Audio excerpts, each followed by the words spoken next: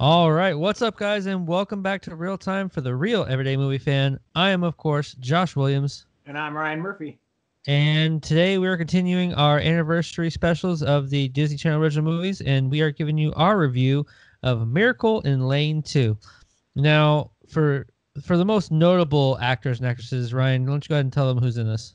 Well, I mean, it's got um, Frankie Muniz is, is obviously the most the most Yep. the, the biggest actor in it. Also, Patrick uh, Levis, I think it's pronounced, uh, who's well known to fans of the Disney Channel from back in the day because he was, of course, in Brink and on So Weird. So. Oh yeah, I forgot he's on so weird. Oh yeah, man! Like he was a Disney Channel guy. Um, Mhm. So and also the dad in this movie, Rick Rossovich, uh, has been in a couple of things. He was in Top Gun. He was one of the pilots, Mhm. and also he was in the Terminator, the first Terminator. He was the boyfriend of the roommate that got killed. Oh, really? roommate and her boyfriend, yeah, get killed. Just like it's a horror movie. They have sex and then they get killed. Yeah, that's that's the dad in this movie. So a fun little nod I saw was uh well not a nod but uh the father and even Stevens is in this too. He's like the uh the yeah. one of the guys who calls like the races. I thought that was kind of cool. And also another really tr- tremendous character actor. I don't know his name because he's total character actor. Uh, but the guy who plays the um, I'm looking it up right now. Um, uh, the guy who plays the father of the girl who's his competitor who cheats. The father cheats. That Uh-huh. guy's been tons of stuff. I'm checking. Oh yeah. yeah. So, but Let me uh, see here. His name actually I haven't pulled up here. I think it's Joel Miller. Joel McKinnon. Joel McKinnon Miller? Yes. Yep. Big big character actor. You've probably seen him. a Uh-huh. lot. So, but um, Josh, what'd you what'd you think of the movie overall? You know, honestly, I felt like given the fact that this is based on a true story, which I actually forgot about that until I watched till the end. I was like, oh yeah. I mean, I completely spaced that this is based on a true story. Um, I wish they'd have maybe taken a little more seriously, I guess, for it being based on a true story. I mean, know it's a Disney Channel original movie. They're gonna add some some light to it and some jokes and everything like that. But given the subject material, I wish they would taken a little more seriously than they did. Still, given I loved actually my favorite part is probably the beginning, where it's I love the subtle um, message of you know just when you're a kid, you're really trying to find yourself, doing whatever you can to feel that self importance and self gratitude of doing something and achieving something, and especially with someone in a wheelchair, it can be very difficult.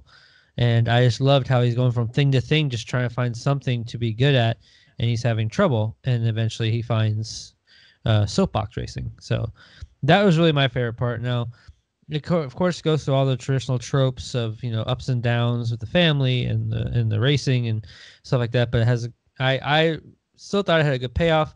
I just wish it was like I would love to see this actually not necessarily being like a big studio budget film or maybe just like even an independent film being remade of this subject matter of this person who went through this because I actually I loved you know I loved the story and of this per of this kid uh, facing adversity and doing something he loves and finding something he loves so that that was my take what, what did you think though I mean, I thought it was it's fine for what it is. I don't. I mean, I, I think it's about the best version of itself. It's it's um yeah, it's it's a cute little movie about the it's about soapbox racing. So I don't think it was ever ever going to be um no like no. super dramatic. I mean, obviously there's some very serious subject matter in the fact that this the, the disease that this child has, but I mean like I, I I don't really know what you mean by some of the stuff where it wasn't serious. I thought it was serious when it needed to be and and just had some jokes along the way, sure. But I don't think it I don't think it's I don't think it's ever destined to be like a like a, you know,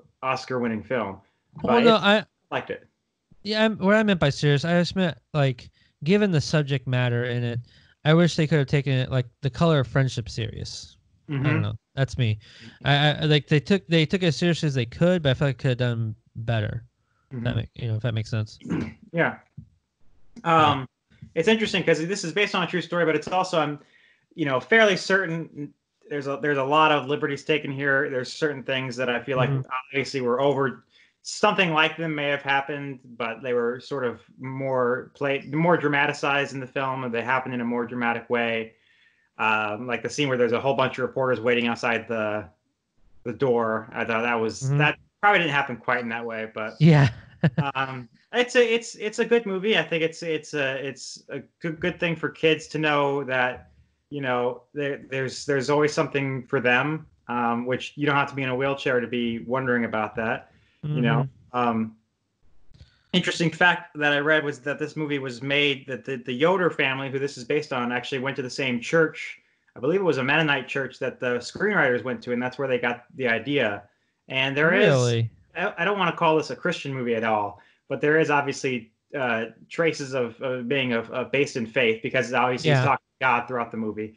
Um, but yeah, it's just a little interesting fact I learned. But it's good. I liked it. I, I think it's uh, about the best version of itself, and I like the fact that uh, Frankie Muniz and Patrick. I mean, the, the brother is is maybe the best part of this movie, and the scenes with him that people think- still talk about. I've heard to this Oh day yeah. talking about it. So. Yeah, definitely. I got a question. uh, Well, can we talk about spoilers in this? You think? Because it's been out for a while, so I think It's people are. for 20 years. Yeah, you know. I don't know. I just. stop, uh, stop listening at this point because spoiler. Like, go ahead. I guess, but I just got a question for you because after rewatching it, at the end, hmm when he talks to you know the guy who's dead, and then he opens shows him the gates of heaven, is that like symbolizing he died? No, he's Or still alive.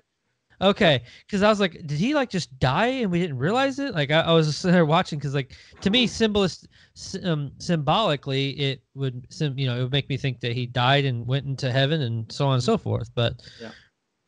Uh, okay, I just I was just curious if that uh, what your take was on it, and I think the last thing for me is that uh, was probably a, the bad part for me was, I mean, I don't know if this is going to be a quote unquote hot take or whatnot for people who enjoy this type of movies or enjoy this actor, but I just wasn't a fan of Frankie Muniz in it. I actually don't like him in general. I didn't even like him in Malcolm in the Middle. I just don't really like him. I never, I never, even as a kid, I didn't like him as an actor. I don't think he's that he wasn't that good. Yeah, I just wish you know maybe they could have picked somebody else and it would have been better. But who knows? It's still a Disney Channel original movie for what it was. Like you said, it was good. I liked it. it I had a good message to it. For a Disney Channel original movie, I'd give it a seven out of ten. yeah, I'd give it probably the same. Well, all right, guys. I guess I'll do it. It was nice, short, and sweet. I mean, if you guys want to check it out, it's on Disney Plus. There's not much going on during this uh, crisis, so go ahead and check it out. It kind of relive your childhood a little bit. It's better Uh, than it's better than Up, Up and Away. And oh God, also- yeah. It's also way better than our next movie we're reviewing. Do you know what the next one is, Josh?